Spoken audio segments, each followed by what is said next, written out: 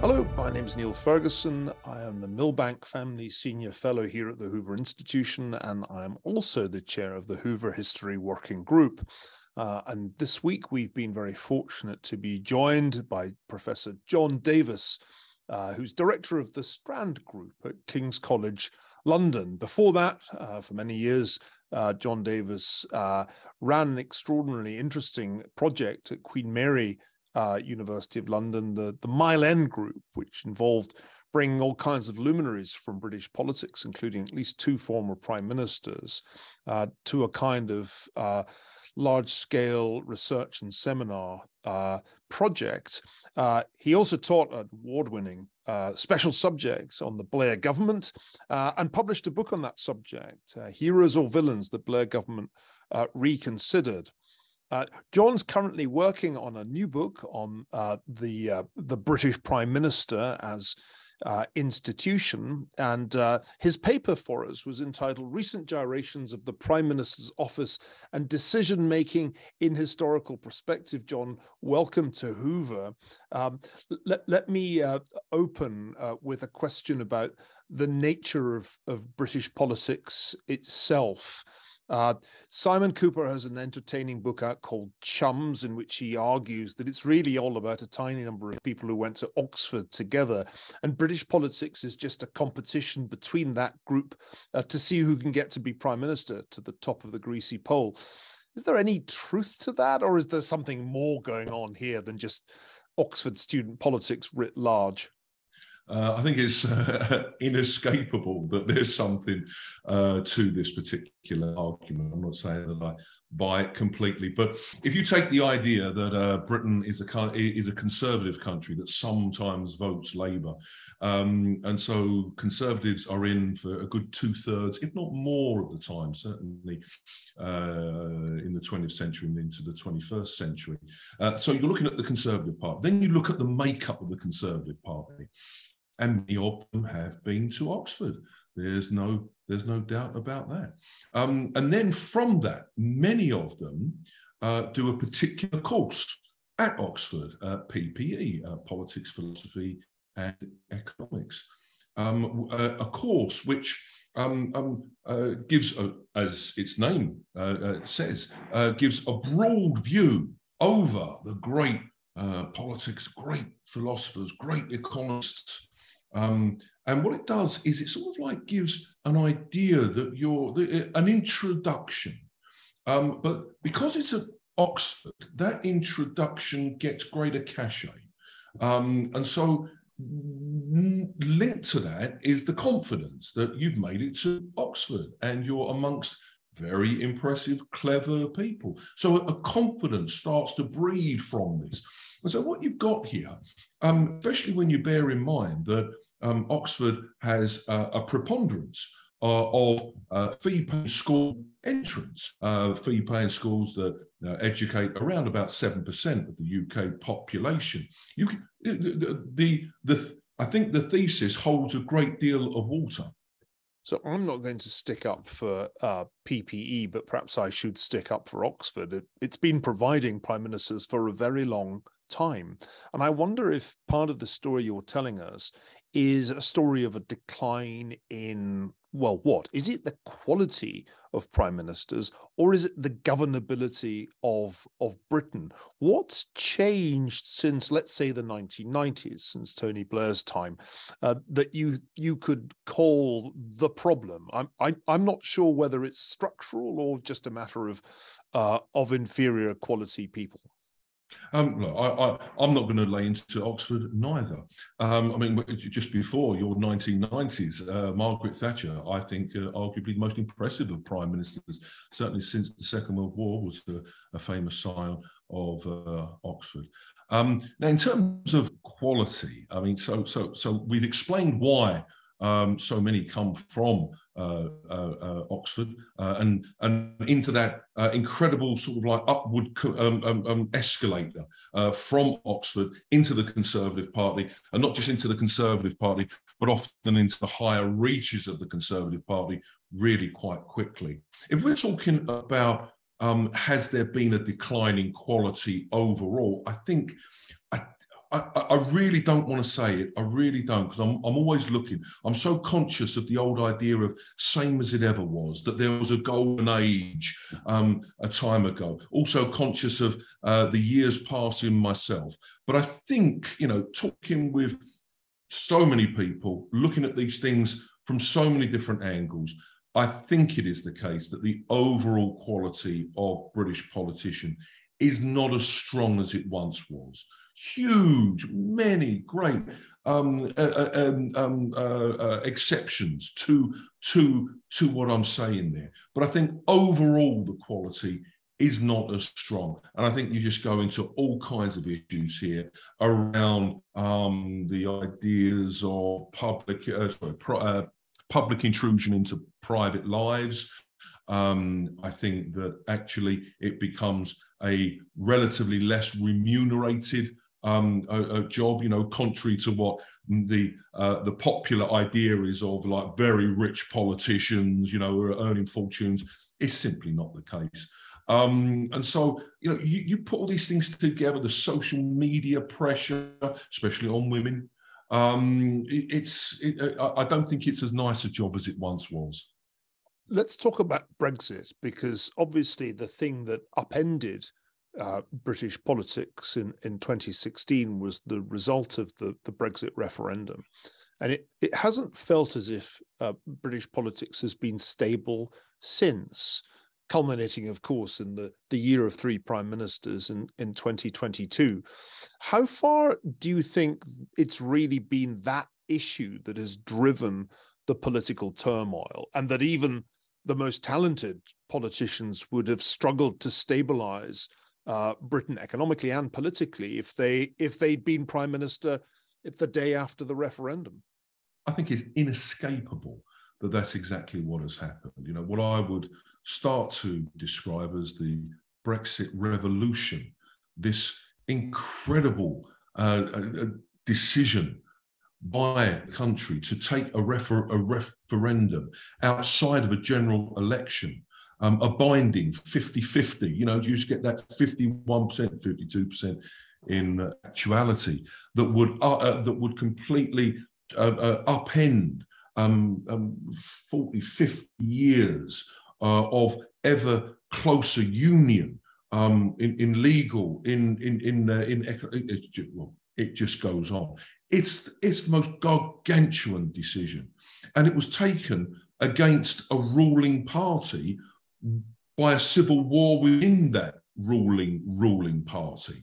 And so, you know, it, on the morning after the referendum that David Cameron had called, he resigns immediately. Um, and then one by one, um, the, the, the big the big supporters of Brexit, uh, sorry, of remaining are removed from the Conservative Party um, one by one until you've got a cabinet under Boris Johnson who largely was chosen not because of ability, but because of fealty to this Brexit idea. And then what's happened from it, it took several years, three years to actually get Brexit done.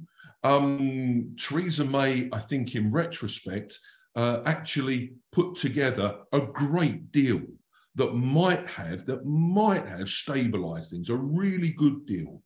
Um, but it was rejected because it became a logical conclusion that we had to go for the hardest break possible.